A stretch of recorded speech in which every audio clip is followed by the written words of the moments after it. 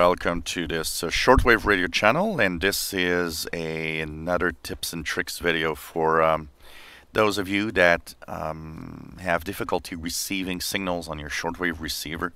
Um, a series of tips, so many videos being posted today that will try to help you understand what it's all about. Um, so we talked about, of course, the different times of day when listening to shortwave. Midday is not the best. Um, but also, depending on the time of day, you'll have to adjust what frequency you listen to. There's a general rule that is roughly, and I mean, this isn't, you know, exactly like that because there's variations, but typically daytime frequencies will be higher frequencies. We often have daytime frequencies that will be above 10 megahertz and nighttime frequencies that will usually be below 10 megahertz. Um, it's not written in stone, meaning if you there's exceptions to that rule depending on where the transmitter and what you're listening to is located. So you could have some form of daytime reception of a signal uh, in the lower frequencies, like the 49 meter band, uh, even in the daytime, if a signal is very close to you. For example, amateur radio band 40 meters is open all day, but with signals that are closer to you. But at night, it will be open with much greater distance. So, as a general rule, you will want to tune in lower frequencies when it's dark. You will want to tune in higher frequencies when it's daytime.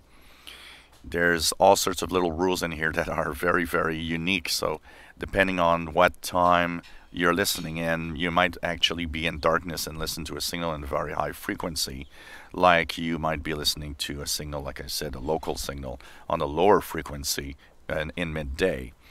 And of course, there's a transition zone. That means that, of course, if you are listening to a signal or trying to get a certain signal from uh, a certain area around the world, well, looking at this map, the live map of day and night, is also important because it's going to actually tell you well, that signal is coming in from, um, you know, the darkness side of the Earth.